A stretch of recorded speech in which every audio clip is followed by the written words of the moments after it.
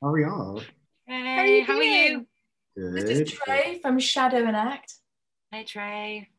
Hi, so it's so great to talk to you both. I hope you're doing well and safe. So excited to talk about Bridgerton. Like, I cannot wait until everyone sees this. You know, I think I may have screened all the episodes within one sitting. Oh, wow. Like, Yay. I, just, I was like, I just can't stop. I can't stop.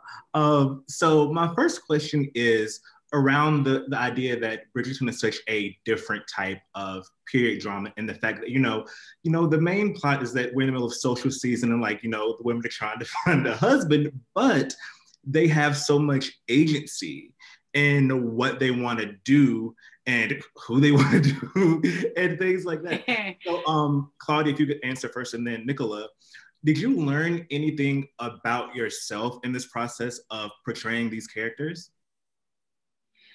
Yeah, I definitely want to be.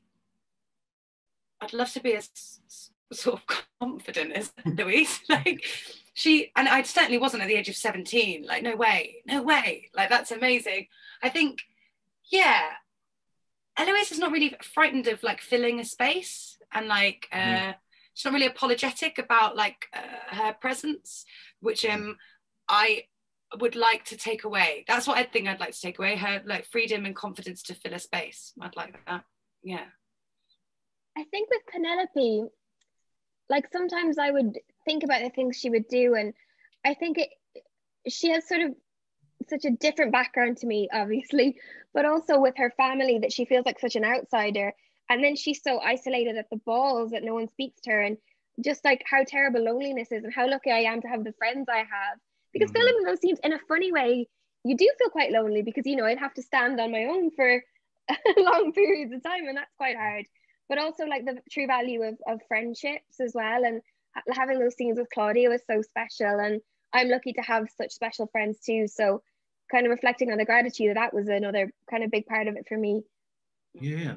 What do you think will surprise people the most uh, about this series? Like, I was surprised, kind of like how contemporary it Yeah. was. You know, it's it's a period drama, but it's also it feels like you know if they didn't if you all didn't have on all the period clothes, I'm like, this could be a story that's, That's right. You know. So, um, what do you think people will be surprised the most, Nicola? If you could go first, and then Claudia. well i think this show it's a period drama but it doesn't feel like a period drama that people have seen before because the books that bridgerton is based on are only 20 years old. So it's Yeah. not like we've adapted something like pride and prejudice where there's a set amount of expectations or things that you have to do.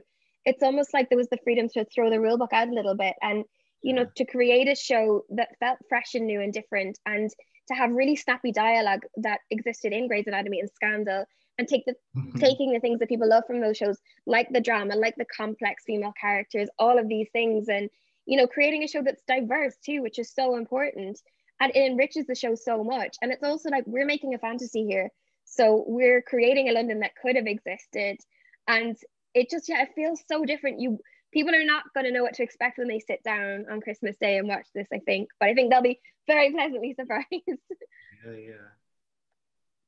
I think people will be uh, most surprised by the pace uh, of it. Um, the, yeah, because obviously so many period pieces are slow and quite drawn out, and that's what we've been used to, and that's what we expect from it.